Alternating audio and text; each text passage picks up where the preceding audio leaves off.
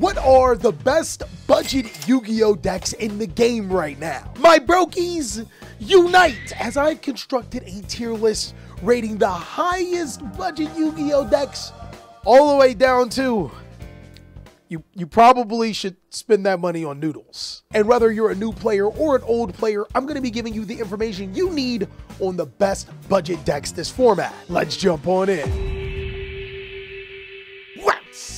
Going on with ya, big dog? And it is an amazing day for Yu-Gi-Oh! I hope that's your day. Phenomenal.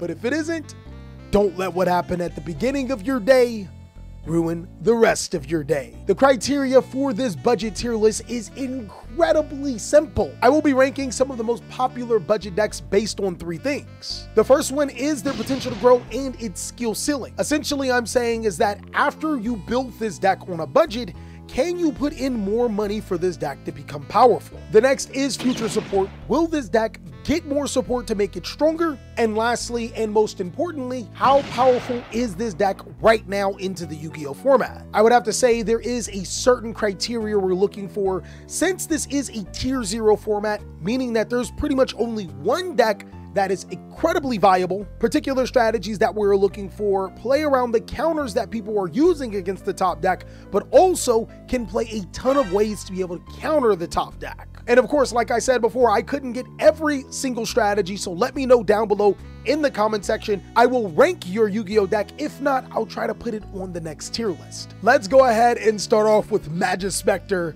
a deck that I'll admit I was coping for. Magispecters is a deck that is based on being able to summon little guys to search really powerful spell and trap cards. The problem with Magic Specter right now, it's just not powerful enough. Like, how did it get new support that just came out? in its power crop. That makes no sense. Also, a big problem with Pendulum overall is that against the toughest deck in the format, using Flame to be able to place a monster into the Pendulum spell and trap card zone means no pendulum summoning. Yeah, unfortunately, I'm gonna have to say noodles are a better investment. It almost doesn't matter even if we do get Kirin because for some reason this deck can't even pendulum summon its strongest monster. Earth Machine, also known as Super Heavy Samurai Light because it's interesting how Super Heavy Samurai have surpassed Earth Machine. I really hate to say it because as you already know my Earth Machine boys, I'm with you to the end, but this is a deck that is also power creep. The only difference is that it did not receive support. Some of Earth Machine's biggest strength has historically been cards like Gozen Match and Rivalry of the Warlords, which are now limited. Skill Drain is, uh, it ain't passing the Kieran test. I'm gonna go ahead and say Earth Machine are noodles are a better investment, unfortunately. The deck does have an FTK that loses to half of the hand traps in the game right now. Right now, I just wouldn't say it's its time. Now, Plunder Patrol. Every time I see Plunder Patrol, I think of a few things. First of all, Plunder Patrol ship Brann is underrated. Being able to get rid of your opponent's important spell and trap cards is a valuable effect. The next cool thing about Plunder Patrol is that their effects to make your ships can dodge cards like Impermanent Effect Veiler because they're quick effects and they can be used during almost any phase. I think even with all that, I would put Plunder Patrol in takes a really good pilot, we're just waiting on that wind ship to be uberly broken. But overall, in order to be able to pilot Plunder Patrol in this format on a budget, you are going to need some top level thinking from some of the best Plunder players. They're always looking for the booty. Heroes! I just so happen to have made a hero deck profile that you guys can actually use for a budget for your base build. What I like about heroes right now is that Masked Hero Dark Law is almost an auto win. I mean, yes, Snake Eyes Fire King does have answers through Subversion, but we putting them on, hey, did you open it? Because searching it may not always be the answer. I think overall, though, Heroes are a solid choice Yu-Gi-Oh deck. It's to get you your bang for your buck as a very cheap and decently successful deck. I think that the strategy is pretty fun to play, especially when you play against decks that aren't the best in the room too. Aromage. Well, Aromage Rika. Aromage's got some slept on support from Phantom Nightmare. It actually got pretty much an entirely new engine that can be placed inside of the deck, a new fusion monster, a new link. It has revitalized the strategy and probably justifies the Sunavalon hits we had the ban list before. This deck can also play up to 8 15 hand traps. You love to hear it. And is a strategy that can play under Dimension Shifter. I would say that this strategy is the solid choice Yu-Gi-Oh strategy. It is an incredibly powerful deck that if you guys do a little bit of research, you'll start to realize why I'm ranking it so high. You could just say I planted the seeds for you to sow if you look for them. Ninjas are incredibly good at the Shadow Clone Jutsu, and hopefully we can clone more ninja players so we can be repping in full force. This deck can be built for less than $20, but unfortunately, I, I think that's where it stops. Ninjas actually does have the room to play a ton of disruptive Yu-Gi-Oh cards. And I think when this deck goes first, it can stop your opponent incredibly well. But where ninjas will consistently struggle at is the support. It feels like the deck got support 20 years ago, not last year. Adamancipators. Okay, there is one thing that's really good about this deck. Secret Village of the Spellcasters can lock out your opponent's entire strategy. Then there's also Evenly Matched being pretty decent. Come on, guys, who am I kidding? It, it's still Noodles are the better investment. Not only being power crept in this current format, Altergeist suffers from a really bad consistency issue, and I think that that's going to be the biggest problem that you're going to have to overcome when playing this deck. Floowandereeze! Yeah, look, I don't like it, you don't like it, but Floowandereeze is still a top budget Yu-Gi-Oh deck. Dimension Shifter, Harpy's Featherstorm. This deck will stay in contention as long as those two cards stay off of the Forbidden list. The best bang for your buck budget Yu-Gi-Oh deck. But I will tell you this, good luck making friends when playing this deck. Moving on, it's going to be just straight pure Pendulum decks. You guys requested this. Pendulum unfortunately suffers the same fate as Magispecters, just noodles are a better investment. I mean, personally, I like the chili kind, but you could do whatever you want to. Get them noodles though. Goblin Biker seen a lot of hype coming out. Players thought that this was going to be able to compete with Fire King Snake Eyes. Boy, we were coping. Now, I don't think that this deck is bad per se is just not in the best situation. I'm gonna put it in borderline. The best thing that Goblin Biker has going for it is that it's going to get more support. Hear me out. It's going to get more support. It is part of the Snake Eyes lore, which if you look historically back at some of the other strategies that are part of lores, like Visas or even the Albaz, every single one of those strategies have been somewhat competitive except for Ice I actually do see a lot of potential in this strategy. It has a lot of busted mechanics for an XC deck. It has a ton of potential. I'm gonna put it in borderline. Chimera as a budget Yu-Gi-Oh deck.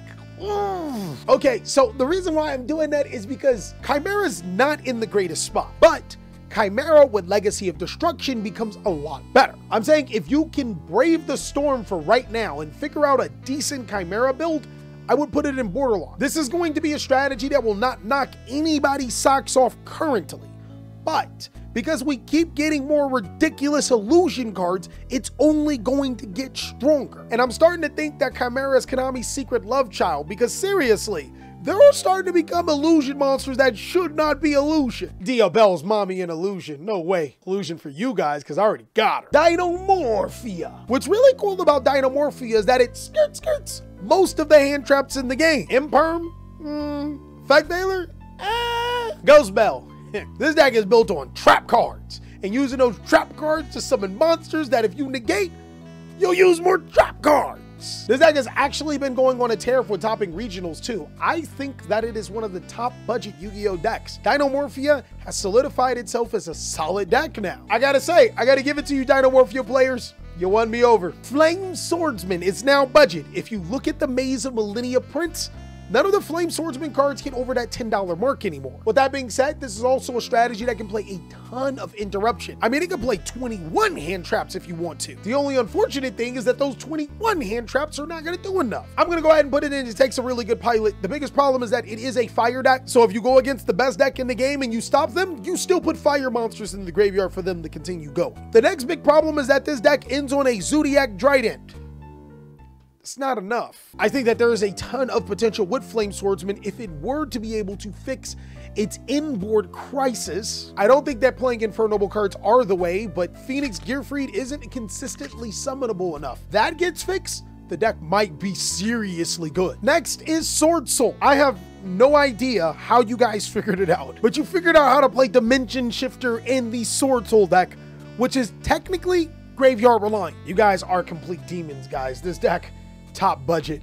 Not only does it make Imperm, Ghost Mourner, and Effect Veiler look really, really bad, this Yu-Gi-Oh strategy can actually summon some threatening boards. Sinister Sovereign Long Yuan is crazy good at banishing your opponent's cards, which permanently gets rid of the threat in this format. Next is going to be Sky Striker, the deck where if you really like this deck, the FBI just might get involved. Sky Striker currently isn't a good spot if you ask me. There are tons of powerful Yu-Gi-Oh cards that allow you to be able to go second and take your opponent's monsters with cards like Mind Control to link off with, or Cards like Raigeki, which ironically is pretty good in this format. Shark Cannon and Widow Anchor are still ridiculously good Yu-Gi-Oh cards. The Sky Striker deck is a lot better than what you guys think. I'm gonna put it in solid choice. This is also a Yu-Gi-Oh strategy that is getting support in the future. Konami doesn't seem to be putting Sky Striker down anytime soon like a bad habit. Hey yo, I put both the FBI decks next to each other. We got Traptrix next. Now I was talking to Chad about Traptrix and I was like, hold on, wait a minute, chat. For the past few few formats, I have put this in historically low rankings, but Traptrix can make a case. It can play a ton of hand traps and it also can use Dimension Shifter. Traptrix Boudica also gets rid of the threat for the entire turn. More importantly, I've noticed how a lot of the Trap Hole cards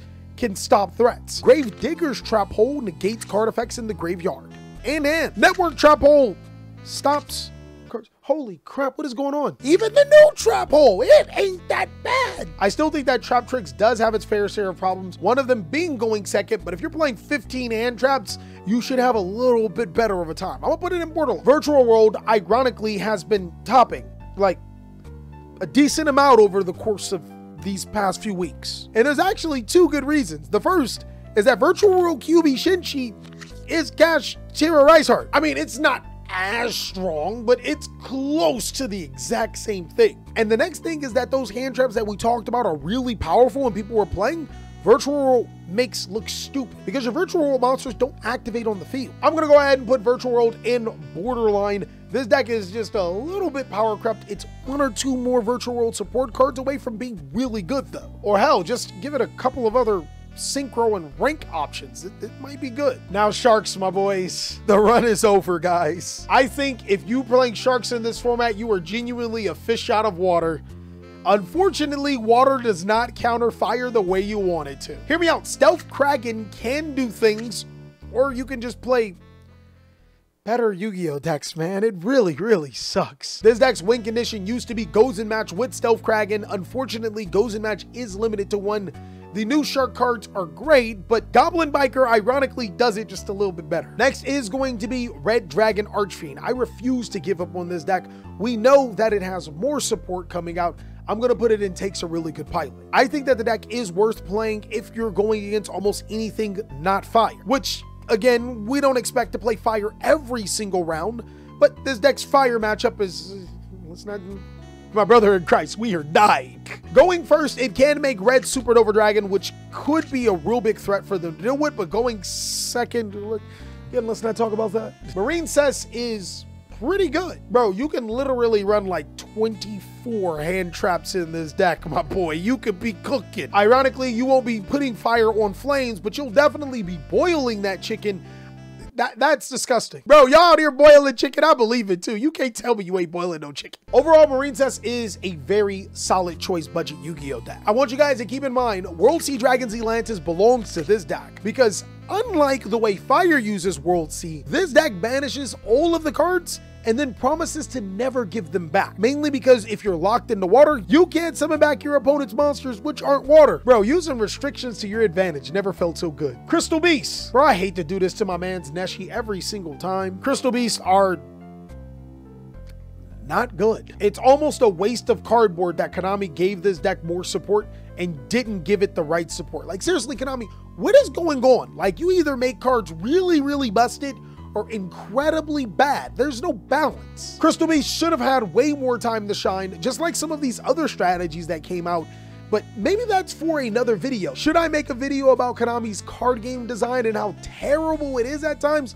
Let me know, guys. I want to hear what you have to say. Next here is Black Wings, my boy. I'm not giving up on the Black Wings. I will never give up on the Black Wings. It's not its format. It's takes a good pilot. Black Wings can make some of the most deadliest Yu-Gi-Oh boards of all time. If it ever makes those Black Winged Assault Dragons in multiples, Fire King is in trouble, my boy. They activate too many effects. The, the problem is going second and realizing you're playing Black Wings. Once they stop you, you cooked. Now, Ghoti is another water Yu-Gi-Oh deck that uh, is supposed to douse out fire. This fish strategy is built on being able to synchro summon on your opponent's turn, and its strongest monster can banish all cards on the field, something that Fire King would never want to happen. I also love that it can naturally play Crossout Designator and a ton of hand traps.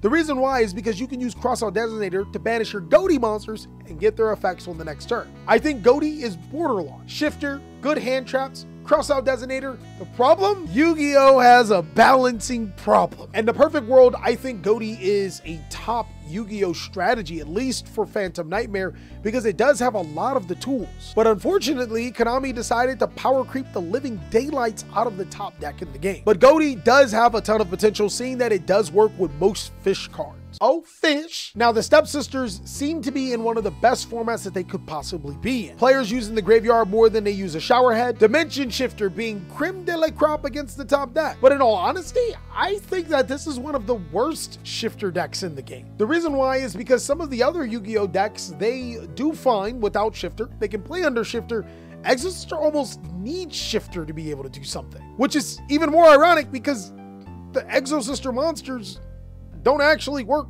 with Shifter. I would say that Stepsisters are borderline. It's still a great Exceed based Yu-Gi-Oh deck, but I do want to point you out some of these other strategies can work with Shifter a little bit better. Dark World. Welcome to the Dark World. We have cookies. Yeah, seriously, if they're not offering cookies, then just get the noodles though. Dark Worlds are an incredibly bad spot. If hand traps don't work, Shifter will. If Shifter don't work, Bystials will. That don't work, you'll Brick. And the crazy thing about it is that Dark World support is not too old. It's really discerning finding strategies that are on the bottom of the budget tier list just because Yu-Gi-Oh! has completely power crept itself. Now, Yubel is a strategy that has topped a couple of regionals, and I did some thorough testing with the deck. I realized that Yu-Gi-Oh! players simply don't read, and that's why this deck topped that many times. Oh, it's definitely it takes a good pilot, but it's also takes a good pilot plus your opponent not being able to read. And I'm telling you guys, after thorough testing, this deck is not good enough currently if your opponent knows what Yubel does. It's a pretty good deck that once it gets its combo going, it's going, but the problem is getting the combo going. Right now, as it stands, the deck is extremely fragile, but once Legacy of Destruction comes out, it does get more support. Hopefully that helps a ton. Next is going to be Labrynth. Because the deck has fallen completely off the face of the earth, the deck is budget again. That's ironically not a good thing. I think Labrynth are a solid choice. This deck can be built for about that $100 range, which is good, but the problem is it got cheap because players realized it wasn't good enough. It can't necessarily complete with the top decks in the game, but it does have some natural counters. Hand traps don't work against it. It does have an easy win with the barrier statue against the top decks, and can insulate and protect it, and it also plays well against the effect negation hand trap cards. I think that if you are building Labrynth, you're in a solid choice because any normal trap card is more support. And lastly is Purrely, you'd actually be surprised where I put this strategy. I think Purrely is sneaky, sneaky good.